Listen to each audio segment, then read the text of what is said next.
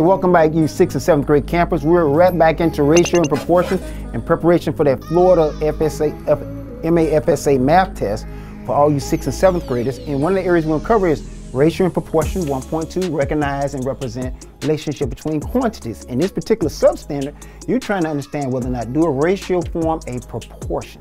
That means that do these particular two ratios that we're comparing, do they comport? Do they compare? Are they equal? Are they equivalent? All right, are they part of each other? Is one part of the other?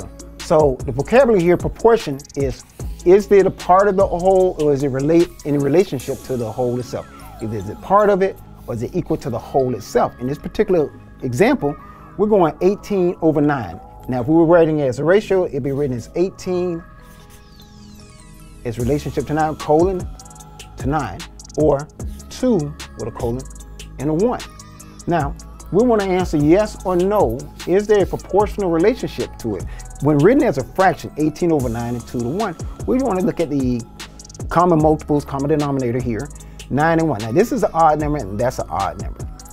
If we can, we multiply something by this and that will equal this. And what if we multiply by the bottom, We're equal to, should we have to multiply by the top. So we know a simple multiple of, of 9 and 1 is 1 times 9. Well, we multiply by the bottom, multiply by the top. So 9 on the bottom, let's multiply by the top. So 2 times 9 will equal to 18. So we know 9 times 1 is equal to 9. And 2 times 9 is equal to 19. So we know that these two do have a proportional relationship, that this can be considered a part of this. That's what, there is a relationship. So 2 over 1 is equal to that. But also a simple rule we want to also remember, 18 over 9 is an improper fraction. That's a quick thing that we need to recognize. And two over one is also an improper fraction. Whenever we see an improper fraction, we really see a whole number. So actually this represents the same number that this represents. This represents nine goes into 18, two times, one goes into two, two times. So both of these are actually basically saying the exact same thing. That's what makes them equivalent. So remember boys and girls, you have to be able to identify do ratios form a proportional relationship?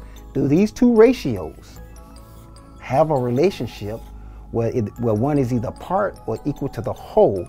And the answer to this is yes. So as we wrap this up, you're gonna go practice this standard under J9, J.9 under math, under ratio and proportion, under 1.2. So we look forward to seeing you in the next class. Remember, believe in yourself and have a great day.